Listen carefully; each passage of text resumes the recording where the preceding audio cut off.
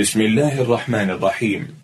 المكتبة الصوتية لمعالي الشيخ الدكتور صالح بن فوزان الفوزان. الحمد لله أكمل لنا الدين وأتم علينا النعمة ورضي لنا الإسلام دينا.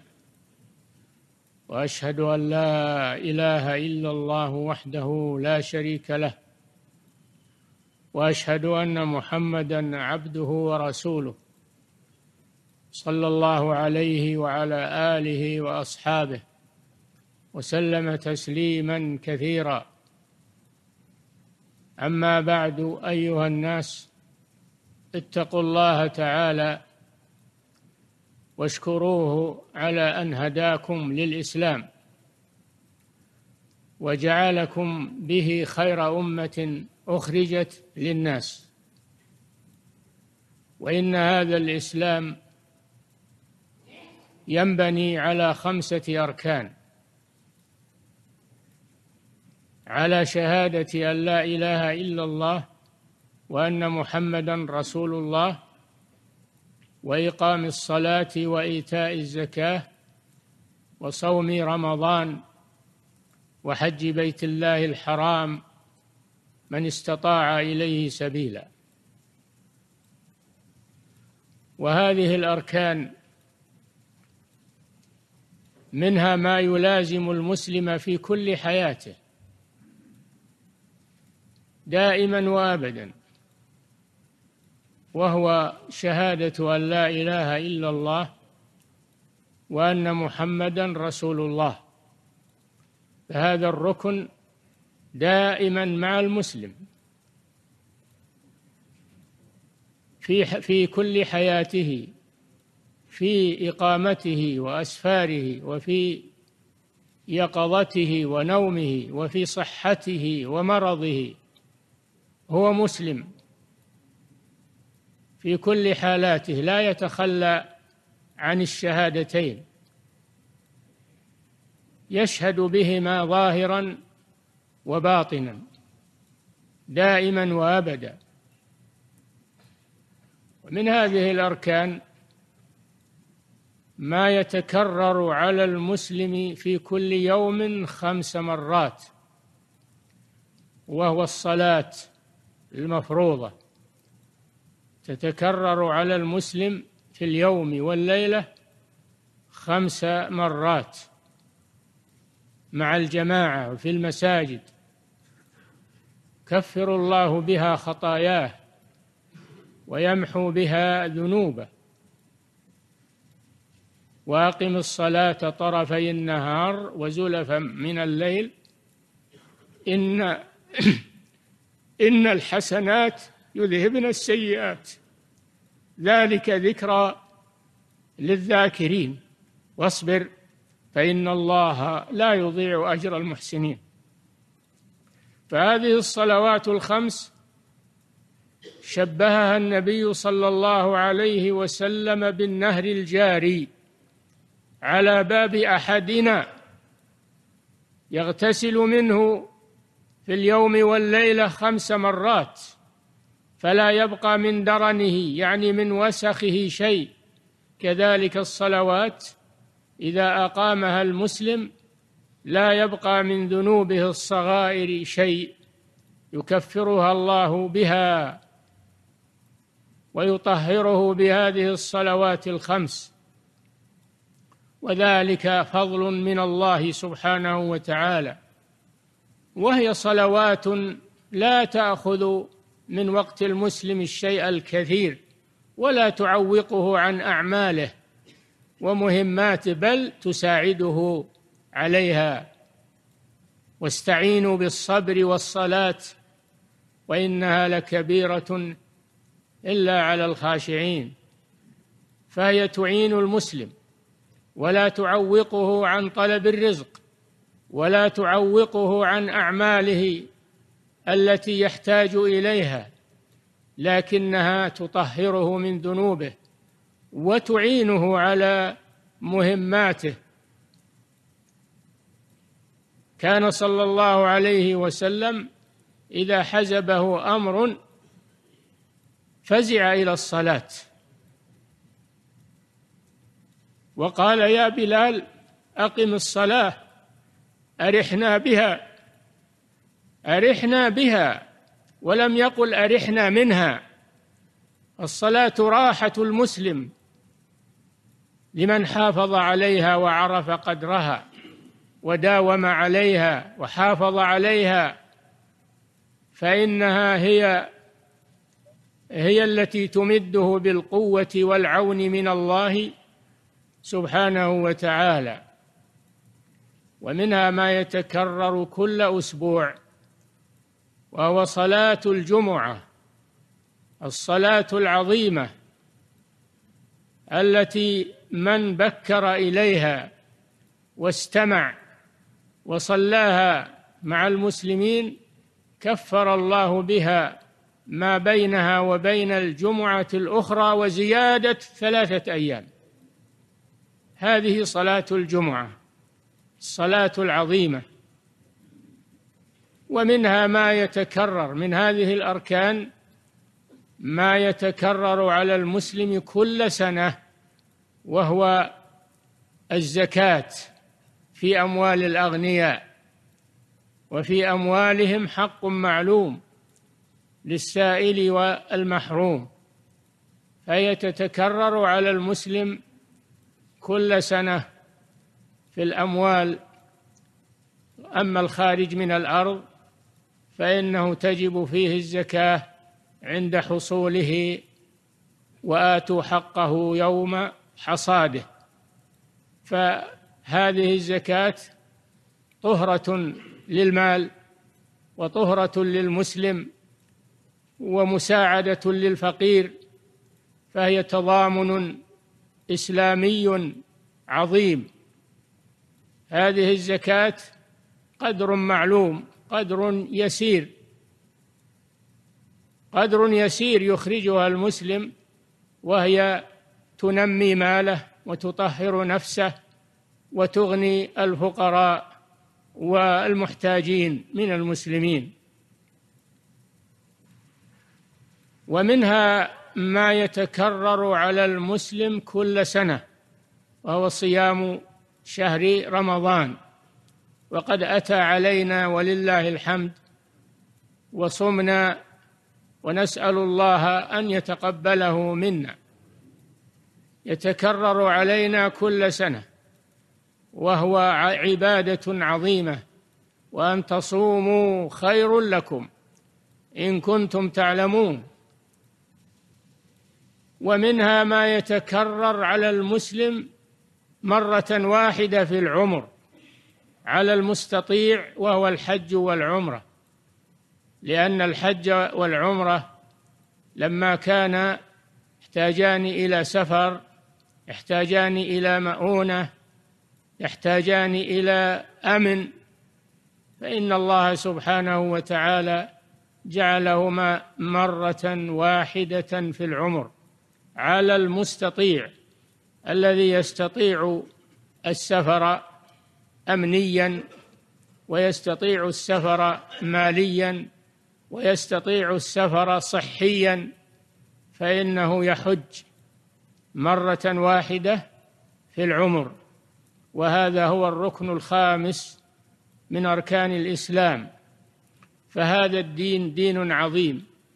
وما زاد عن هذه الأركان من أعمال الخير والطاعات فهو مكمل لهذه الأركان ومتمم لها. وإلا فالإسلام شعب كثيرة وطاعات كثيرة لكن هو يقوم على هذه الأركان الخمسة. فلا يصح إسلام مهما عمل الإنسان من الطاعات والقربات لا يصح إسلامه حتى يقيم هذه الأركان. كما أن البناء لا يقوم إلا على الأعمدة وعلى الأركان فكذلك هذا الإسلام لا يقوم إلا على هذه الأركان. ثم إن الله سبحانه وتعالى لما أنهى الحج لما أنهى لما أنهى الصيام وأدينا الصيام دخلنا في الركن الأخير من أركان الإسلام وهو الحج. قال الله سبحانه وتعالى الحج أشهر معلومات وهذه الأشهر هي شهر شوال وشهر ذي القعدة وعشرة أيام من ذي الحجة. هذه الأيام أو الأشهر التي التي يشرع الإحرام فيها بالحج وأما أركان الحج فإنها تؤدى في يوم عرفة وما بعده من يوم العيد وأيام التشريق. ولكن الإحرام بالحج يصح وينعقد من أول يوم من شوال يصح من يوم عيد الفطر أن يحرم بالحج. ولذلك قال الحج أشهر معلومات فمن فرض فيهن الحج فلا رفث ولا فسوق ولا جدال في الحج. فنحن والحمد لله ننتقل من عبادة إلى عبادة. فلما فرغنا من الصيام انتقلنا إلى أشهر الحج وهي أشهر عظيمة وأشهر مباركة. فيها خيرات كثيرة. فيها عشر ذي الحجة. فيها يوم عرفة. فيها أيام التشريق. فهي أيام عظيمة. تأتي بعد شهر رمضان المبارك. فنحن ننتقل من عبادة إلى عبادة ومن فضل ونعمة من الله إلى فضل ونعمة لا ينقطعان. ولله الحمد ولكن المحروم من هو غافل عن هذه النعم ولا يقيم لها وزنا فكل حياة المسلم وكل عمر المسلم عبادة لله سبحانه وتعالى. لا ينبغي أن يفرط بشيء منه في الإضاعة والإهمال. أعوذ بالله من الشيطان الرجيم. يا أيها الذين آمنوا اتقوا الله حق تقاته ولا تموتن إلا وأنتم مسلمون واعتصموا بحبل الله جميعا ولا تفرقوا واذكروا نعمة الله عليكم إذ كنتم أعداء فألف بين قلوبكم فأصبحتم بنعمته إخوانا وكنتم على شفا حفرة من النار فأنقذكم منها كذلك يبين الله لكم آياته لعلكم تتقون. بارك الله لي ولكم في القرآن العظيم. ونفعنا وإياكم بما فيه من الآيات والذكر الحكيم. وأستغفر الله لي ولكم ولجميع المسلمين من كل ذنب فاستغفروه إنه هو الغفور الرحيم. الحمد لله على فضله وإحسانه. وأشكره على توفيقه وامتنانه وأشهد أن لا إله إلا الله وحده لا شريك له تعظيما لشانه وأشهد أن محمدا عبده ورسوله صلى الله عليه وعلى آله وأصحابه سلم تسليما كثيرا.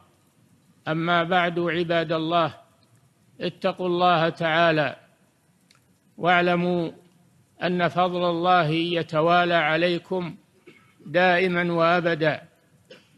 والمسلم عبد لله في كل وقت وفي كل حين وفي كل مكان. اتق الله يقول الرسول صلى الله عليه وسلم. اتق الله حيثما كنت وأتبع السيئة الحسنة تمحها وخالق الناس بخلق حسن. وإن من علامة قبول الحسنة الحسنة بعدها. فعلينا أن نتبع الحسنات بالحسنات فنتبع هذا الشهر بالطاعات والعبادات ولا نغفل عن ذكر الله ولا نضيع فرائض الله. فإن فإن الله سبحانه وتعالى مطلع علينا في كل وقت وحين لا في شهر رمضان فقط.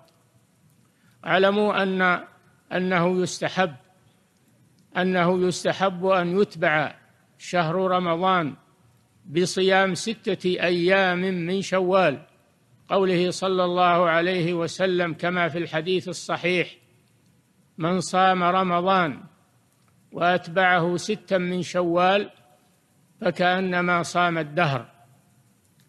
وذلك لأن الحسنة بعشر أمثالها فمن صام رمضان فله أجر صيام عشرة أشهر.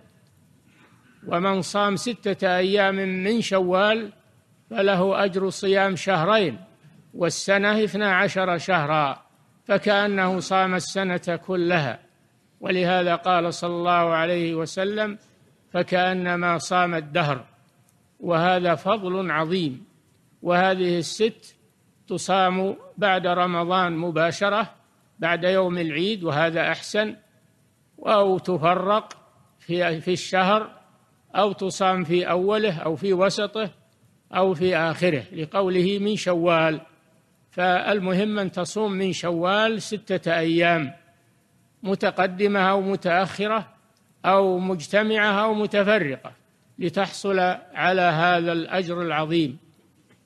ثم اعلموا أن الله سبحانه وتعالى أمركم بأمر بدأ فيه بنفسه ثم بملائكته ثم بكم. فقال سبحانه وتعالى إن الله وملائكته يصلون على النبي يا أيها الذين آمنوا صلوا عليه وسلموا تسليما. اللهم صل وسلم على عبدك ورسولك نبينا محمد.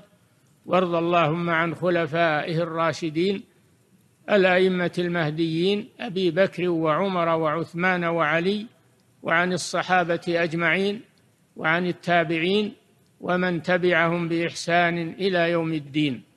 اللهم أعز الإسلام والمسلمين وأذل الشرك والمشركين ودمر أعداء الدين واجعل هذا البلد آمنا مطمئنا وسائر بلاد المسلمين عامة يا رب العالمين. اللهم من أراد الإسلام والمسلمين بسوء فأشغله بنفسه واردد كيده في نحره واجعل تدميره في تدبيره إنك على كل شيء قدير. اللهم احفظ الإسلام والمسلمين. اللهم احفظ بلاد المسلمين. اللهم احفظ بلاد المسلمين من كل سوء ومكروه. اللهم احفظ علينا أمننا وإيماننا واستقرارنا في أوطاننا وأصلح سلطاننا وول علينا خيارنا واكفنا شر شرارنا ولا تسلط علينا بذنوبنا من لا يخافك ولا يرحمنا. برحمتك يا أرحم الراحمين. اللهم دمر أعداء الدين في كل مكان يا رب العالمين. اللهم أحصهم بددا. اللهم أحصهم عددا. واقتلهم بددا. ولا تبق منهم أحدا.